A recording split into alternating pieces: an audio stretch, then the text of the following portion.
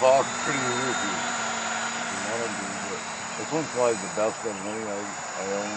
It's the first one I, not the first one, but I mean, it's an Australian job. The motors are crooked on it, and for some reason or other, it makes them wide better. I haven't figured out why, but I like the light for it. That's that Cinepride. I'm that way up in this fog.